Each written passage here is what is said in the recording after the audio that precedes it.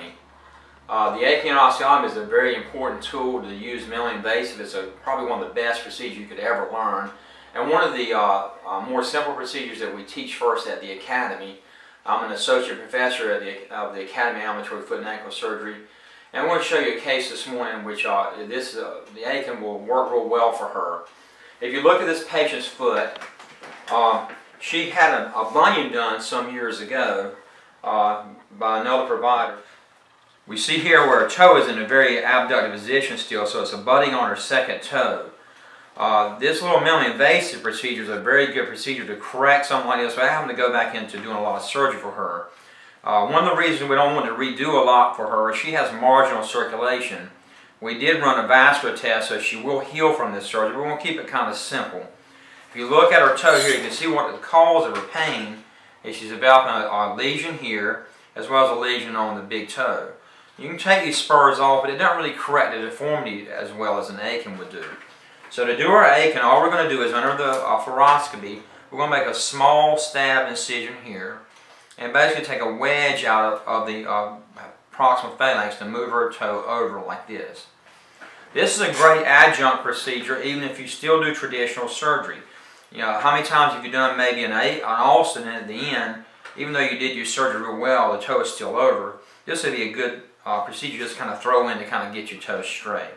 So this is a very good procedure. We're going to show you the, the surgery this morning on this patient here. And um, so this is one of our academic videos for the Academy. And we'll get to that shortly here. Here's a continuation of our Akin osteotomy to do this morning. Here's our preoperative x-ray. You can see where she's had a bunion procedure performed, but still has that uh, adductus position of the hallux. And this is abutting her second toe. So what we're going to do is, uh, in the base of the toe here, we're going to make a wedge and move the toe back over immediately. For this patient, she has some marginal circulation as well, so we don't want it to be too aggressive with her surgery. You can see we did, she does have a, uh, within normal limit ABI, so we did do waveforms uh, and to check her circulation before, just to be on the safe side with her surgical procedure.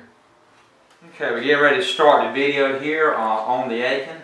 Uh, note our time is 9.37 in the morning. This is a fairly quick procedure. And this patient, this is one thing I want to talk to you about is that this patient does have, uh, is beginning to get an ulceration here. So these patients with vascular compromise is even more important to kind of correct their condition. So we're getting ready to, under the C-arm, we're going to locate our exact position of where we're going to make our incision. And we're going to make a stab incision down to the periosteum. Once we're there, we kind of scrape against the periosteum. I then take a small uh, rasp and go into my incision site and form a channel underneath the tendon. One, one little stroke will do that. And then also underneath as well. So that is a fairly simple, quick uh, dissection here.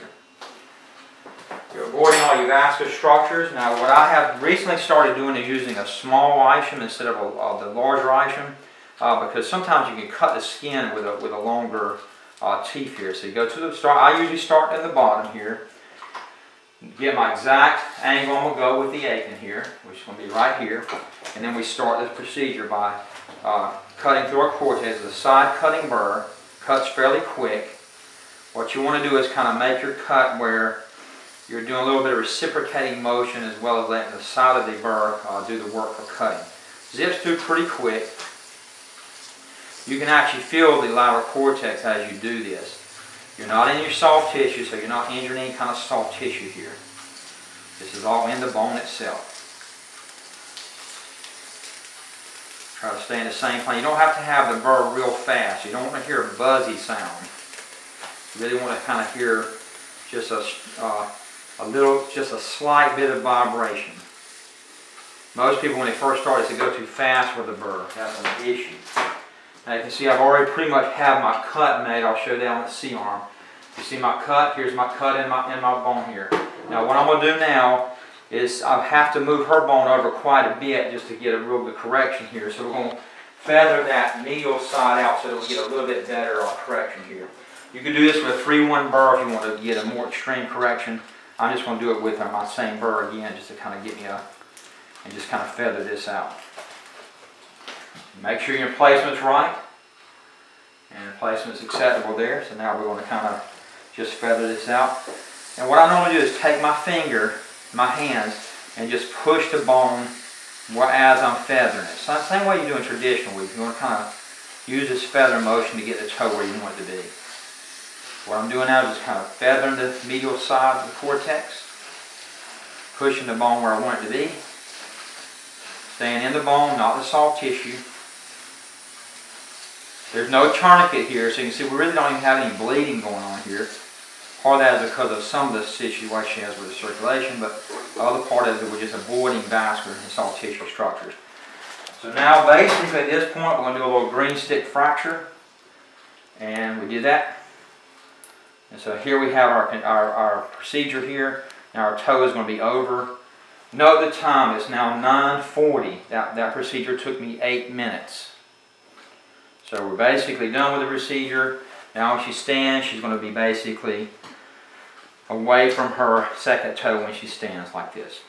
Okay, now bandaging is very important in minimally invasive surgery. We're not going to use screws. We're not going to use even a, even a suture here. Uh, so we're going to, it's a very important uh, aspect of bandaging because we have to splint the toe where we want to.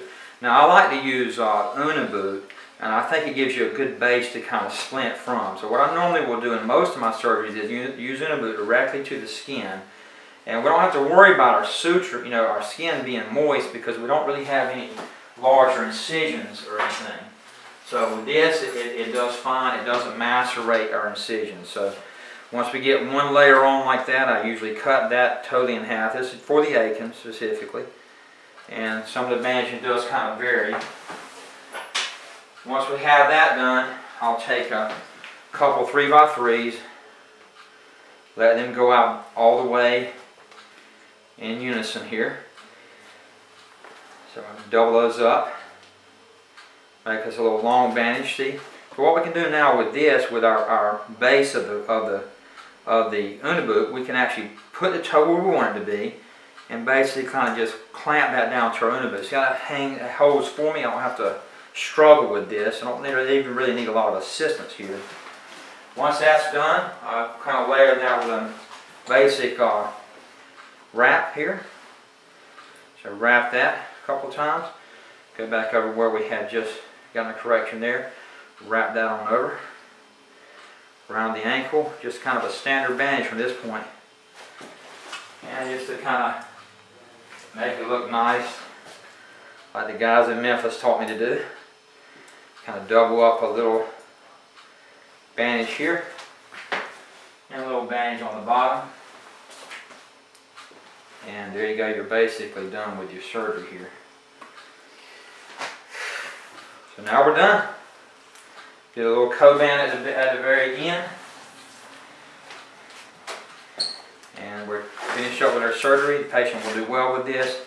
Uh, once again, if you note, note our time here, we began at 9.32. It is now 9.44, which is what, how much, that's uh, 12 minutes uh, from the time we started, including our bandage, and we're completely done with the surgery. So for a total of 12 minutes time here, we got a good correction here, done under local anesthetic in the office, very safe. Don't have to worry about the complications with, uh, with general sedation.